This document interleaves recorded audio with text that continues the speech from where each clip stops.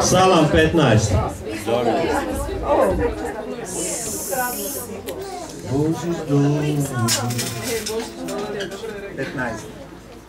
Jahve, tko smije prebivati u šatoru tvome? Tko li stanovati na svetoj gori tvojoj? Onaj samo tko živi čestito, koji čini pravicu i istinu iz srca zbori i ne kleveće jeziko, koji bližnjem zla ne nanosi i ne sramoti susjeda svoga, koji zlikovca prezire, a poštuje one koji se Jahve boje, koji se zaklinje prijatelju, a ne krši prisege, i ne daje novca na lihu i ne prima mita protiv nedužna. Amen. Ko tako čini, pokolebat se neće do vijeka. Amen. Aleluja, slava ti gospodine Isuse Kriste na današnjem danu što smo do, mogli doći gospodine da slavimo i veličamo tvoje sveto ime, ime koje je za svakog imena. Ti si gospodine naša ljubav, naša milost i naše spasenje. Hvala ti na ovoj riječi gospodine koje si sada dao gospodine da se možemo pouzati tebe u tvoju riječ gospodine. Hvala ti na svemu, oče, molimo te da zaista tvoja milost, gospodine, i obilje tvojega svetoga duha padne na današnju službu, gospodine, na onoga koji govori, da možemo, gospodine, ljubiti, veličati i blagosiljati tvoje ime koje je za svakog imena. Molimo te, gospodine, da zaista ti vodiš, gospodine, sada ovu službu, gospodine, tvoje sveto ime u ime gospodina Isusa Krista. Amen.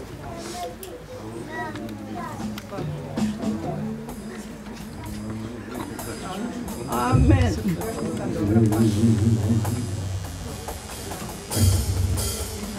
Eto, prije što počnemo šta? Mobitele ugasiti na vibraciju, da ne zvone, da ne stvaraju probleme, da ne dolaze poruke, molim vas. Jeste me čuli svi? Nikome ne dobro. Mi, mi ćemo otvoriti vrtić. Da, da. Ajde, da otvorimo. Neće onaj moj. Da, neka, hvala Bogu. Otvorimo kršćanci.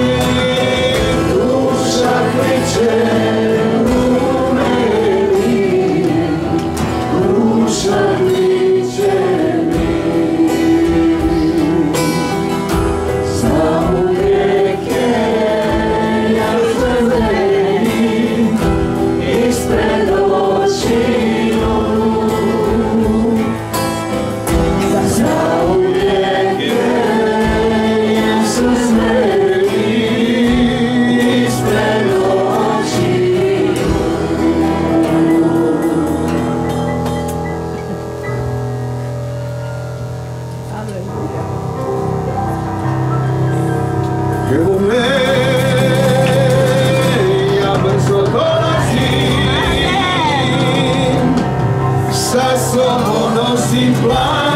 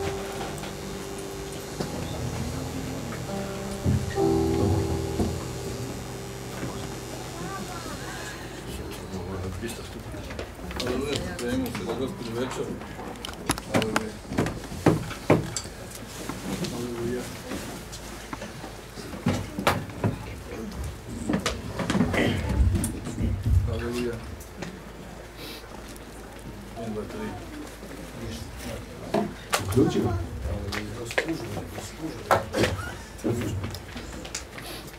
Aleluja, haleluja, haleluja. Prva Korinčanima 11.23 Ja sam uistinu primio od gospodina ono što sam vam i predao. Gospodin Isus jedne noći pobijaše izdan uze kruh, te zahvali, razlomi ga i reče Ovo je tijelo moje koje je za vas, ovo činite na moju uspomenu. Isto tako uze kalež poslije večere te reče Ovaj kalež novi savez u mojoj krvi, ovo činite svaki put kad ga pijete na moju uspomenu. Uistinu svaki put kad jedete ovaj kruh i pijete ovaj kalež, navješćujete smrt gospodinu dok on ne dođe. Zato tko god nedostojno jede ovaj kruh ili nedostojno pije ovaj kalež gospodnji, bit će odgovoran za tijelo i krv gospodnju. Neka svatko ispita samog sebe, te onda jede od kruha i pije iz kaleža. Jer tko jede i pije osudu svoju jede pije ako u tome ne razabire tijelo. Od toga su među vama mnogi slabi i mnogi umiru. Kada bismo sami sebe prosuđivali, ne bismo bili kažnjavani. A gospodin nas kaznama popravlja da ne budemo osuđeni sa svijetom. Ja bih samo nadodao, ovdje kaže neka svako ispita samog sebe, a mi dobro znamo i odlično rekao bi, trebali bi već to znati, da mi nismo u stanju sebe proniknuti do kraja. Jer kad bi čovjek sam sebe proniknuo do kraja, vjerojatno bi se zgrozio, doživio srčan i umra. Kad bi vidio koliko je opaka njegova narav. Ali e, mislim da nam gospodin govori za sve one strahove koje imamo na srcu i sumnje i brige i uopće čemu uzimat gospodinu večeru, to su sve đavolske laže. Gdje god osjećaš takvu sumnju i strah, to ti đavo govori. To nije Božja volja. Božji strah je početak mudrosti, tako kaže u Bibliji strah gospodina. I on te privodi pravednosti. Đavolski strah ti nameće sumnju, brigu, tjeskobu, muku, da se osjećaš potišteno, poraženo, to nije djelo svetog duha. I tko god da je došao s tim i da se muči s takvim stvarima, sad kad bude gospodina večera, neka to pusti gospodinu, da on to uzme i očisti svom krvju. Amen. Amen.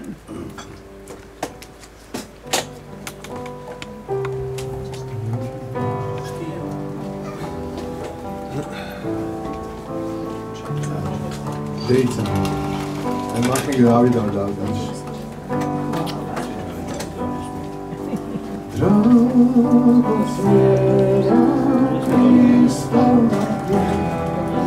Dragocjena Kristova krv Dragocjena Kristova krv Od grijeha čisti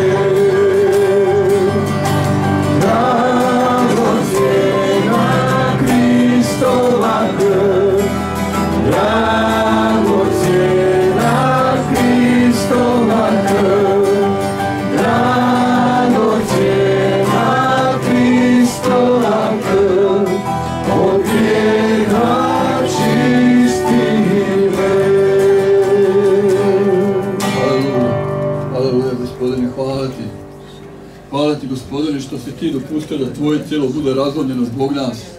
Što si ti dopustio da na tebe padne kazna radi našeg mira, da te tvoje Tvoje rane i ožiljci budu nama živo, zdravlje, okrepa, sve ono što nam treba danas dok smo na ovoj zemlji. Hvala ti što si to učinio za nas i nije te bilo strah. Rekao si da želiš to učiniti, rekao si da želiš izvršiti volju svog oca i onda si time ostavio primjer svima nama da nam treba kao i Davidu milije vršiti tvoju, tvoju gospodine, nego da, da nam rode pšenica i vino što kaže Davidu psalmima. Da nam je milije biti u dvorima tvojim jer jedan dan u tvojim dvorima vrijedniji svega onoga što ovaj svijet može dati, pružiti. Gospodine, tebe trebamo i danas ovo jutro Isuse. Da znamo da su nam grijesi oprošteni, da smo bijeli od snijega. Što je rekao prorok Izaja, ako su vam grijesi kao grimi iscrveni, ja ću ih oprati, bit će bijeli od snijega. Najbijelijeg snijega kad ga sunce ogrije i kad počne sjajiti. Još će naše haljine biti bijelje od toga, gospodine. I zato se dajemo tebi u tvoje svete ruke. I molimo da blagosloviš ovaj kruh. Da otkloniš svaku strepnju, sumnju i strah, gospodine. Svaku laž koja dolazi od zloga. Da tvoja djeca prime blagoslov. U jedino ime koje nam pruža oproštenje. U ime gospodina Isusa Krista. Amen.